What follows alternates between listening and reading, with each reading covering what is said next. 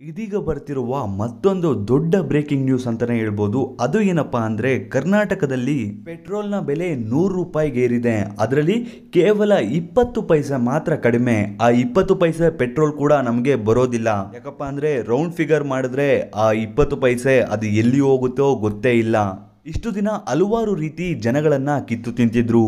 ಕೇವಲ ಮಾಸ್ಕ್ ಮೂಗಿನ ಕೆಳಗಡೆ ಹಾಕಿದ್ರೆ ಇನ್ನೂರ ಐವತ್ತು ರೂಪಾಯಿ ಫೈನ್ ಹಾಗೂ ಹಾಸ್ಪಿಟಲ್ಗಳಲ್ಲಿ ಲಕ್ಷ ಲಕ್ಷ ಹಣವನ್ನ ವಂಚನೆ ಮಾಡಿದ್ರು. ಆದರೆ ಈಗ ಜನರಿಗೆ ಮತ್ತೊಂದು ಬರೆಯನ್ನ ಎಳಿದಿದ್ದಾರೆ. ಅದೇನಪ್ಪ ಅಂದರೆ, ಈಗ ಕರ್ನಾಟಕದಲ್ಲಿ ಪೆಟ್ರೋಲ್ನ ದರ ತೊಂಬತ್ತೊಂಬತ್ತು ರೂಪಾಯಿ ಪಾಯಿಂಟ್ ಎಂಬತ್ತು ಪೈಸೆ. ಅದು ಕೂಡ ನೀವು ಸೆಲ್ ಪೆಟ್ರೋಲ್ ಬಂಕ್ನಲ್ಲಿ. ಏನಾದರೂ ಪೆಟ್ರೋಲನ್ನು ಹಾಕ್ಸ್ಕೊಂಡ್ರೆ ನಾರ್ಮಲ್ ಪೆಟ್ರೋಲೇ ಅವ್ರ ಹತ್ರ ನೂರ ಮೂರು ರೂಪಾಯಿಗಿಂತ ಜಾಸ್ತಿ ಇದೆ. ಇನ್ನು ಪೆಟ್ರೋಲ್, ಡೀಸೆಲ್ ದರ ಏರಿಕೆ ಎಲ್ಲ ನಾವು ಪ್ರತಿನಿತ್ಯ ಬಳಸುವಂತಹ ವಸ್ತುಗಳ ಬೆಲೆ ಏರಿಕೆಯಾಗುತ್ತೆ. ಇನ್ನು ಜನಸಾಮಾನ್ಯರನ್ನ ಯಾವ ರೀತಿ ಕಿತ್ತು ತಿಂತಾರೋ ಅನ್ನೋದು ಗೊತ್ತಿಲ್ಲ. ಈ ಸಮಯದಲ್ಲಿ ಎಲ್ಲರೂ ಹೇಳ್ತಾರೆ, ದೇಶ ಸಂಕಷ್ಟದಲ್ಲಿದೆ, ಅದಕ್ಕೆ ಪೆಟ್ರೋಲ್ ಬೆಲೆಯನ್ನ ಹಾಗೂ ಡೀಸೆಲ್ ಬೆಲೆಯನ್ನ ಏರಿಸ್ತಿದ್ದಾರೆ ಅಂತ.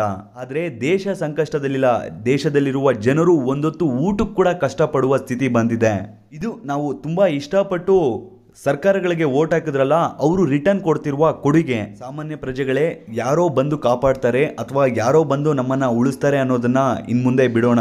ಮುಂದೆ ಆದ್ರೂ ಹಣ ತಗೊಳ್ದೆ ಓಟ್ ಹಾಕಿ ತಲೆ ಉಪಯೋಗಿಸಿ ಓಟ್ ಹಾಕಿ ಈ ಭ್ರಷ್ಟ ರಾಜಕಾರಣಿಗಳಿಗೆ ಬುದ್ಧಿ ಕಲಿಸೋಣ ಅಂತ ಈ ವಿಡಿಯೋನ ಮುಗಿಸ್ತಾ ಇದ್ದೀವಿ. ನಿಮಗೂ ಈ ಪೆಟ್ರೋಲ್ ಬೆಲೆ ಏರಿಸಿರೋದಕ್ಕೆ ಏನ್ ಅನಿಸ್ತಿದೆ ಅಂತ ತಪ್ಪದೆ ನಮ್ಮ ಕಾಮೆಂಟ್ ಬಾಕ್ಸ್ನಲ್ಲಿ ಕಮೆಂಟ್ ಮಾಡಿ. ಹಾಗೂ ನಾವ್ ಹೇಳಿದ್ದು ಸರಿ ಅನ್ಸಿದ್ರೆ ಈ ವಿಡಿಯೋಗೊಂದು ಲೈಕ್ ಕೊಟ್ಟು ಈಗಲೇ ಈ ವಿಡಿಯೋನ ಎಲ್ಲ ಕಡೆ ಶೇರ್ ಮಾಡಿ.